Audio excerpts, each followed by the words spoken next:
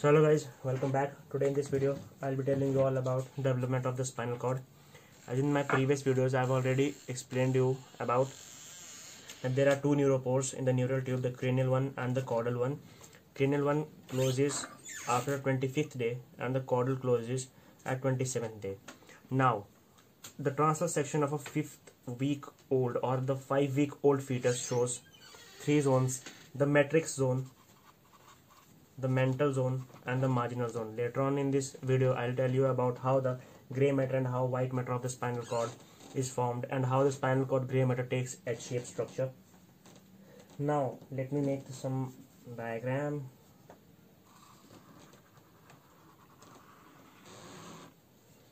So this is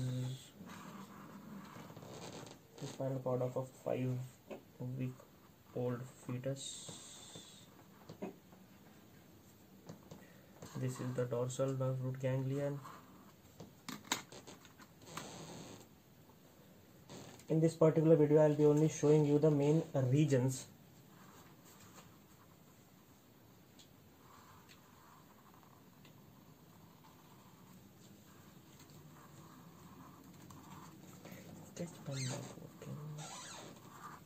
Okay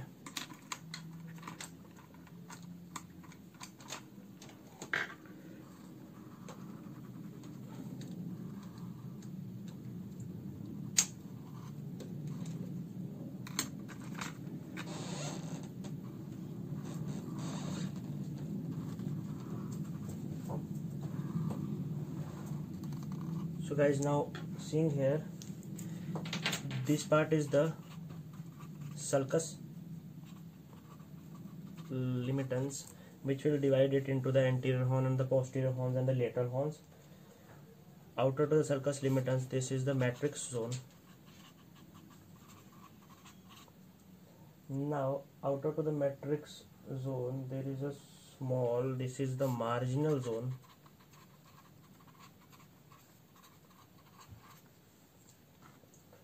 and this outermost part. Okay. This is this is marginal zone and this is mantle zone. Sorry. Now let me tell you that first of all coming on to the matrix zone. Matrix zone is thick. It during the development the proliferation of cells takes place mainly by the process of mitosis.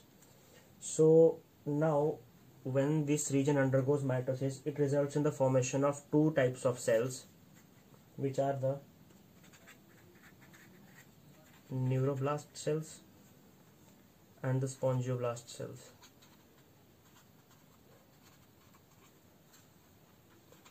The neuroblast cells will later on develop into the neuron and spongioblast cells will develop into the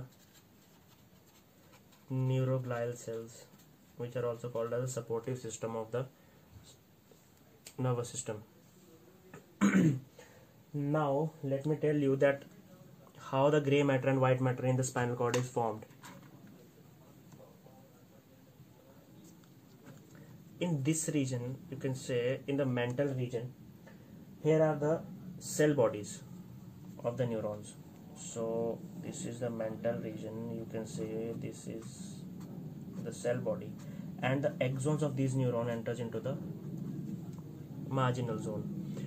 This is the reason why the gray matter as i have already you might be knowing that gray matter contains cell body of neuron and white matter contains axon of the neuron. Now as here are the cell body and here is the axon. So later on this will the mantle zone will develop into the gray matter and the marginal zone will develop into the this is the marginal zone. It will develop into the white matter. Now one thing it must be noted as i've already told you the formation of gray matter takes place from the mantle zone. Uh, myelination and non-myelination i'll be telling you. So guys as already I have told you that how the gray matter and the white matter of the spinal cord are formed.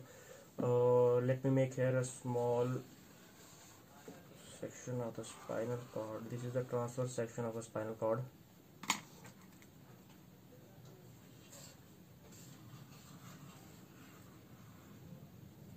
Now this was the gray matter and this was the white matter of the spinal cord. This was uh, formed from the mantle zone means here will be the cell bodies and here will be the axon i hope you have understood this. Now what will happen? The sulcus limitans will result. Okay.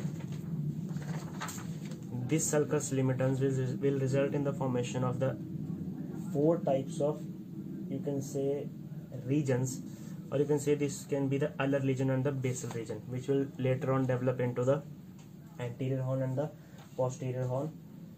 Okay so this was the sulcus limitans this was the whole spinal cord. Now the two main important things. This is the anterior end of the this is anterior end of spinal cord. This is posterior end of spinal cord. Anteriorly here will be the formation of this is called as alar lamina and this will be the basal lamina and this will be sulcus limitans. As in my further videos I'll be telling you that the anterior horn is always motor. The posterior horn is always sensory so guys this was the information about the development of spinal cord. The main things which we have to remember in the development of spinal cord is that there are mainly three regions the matrix mantle and marginal. The mantle zone consists of cell bodies. Mantle contains cell bodies. The marginal contains axons. Now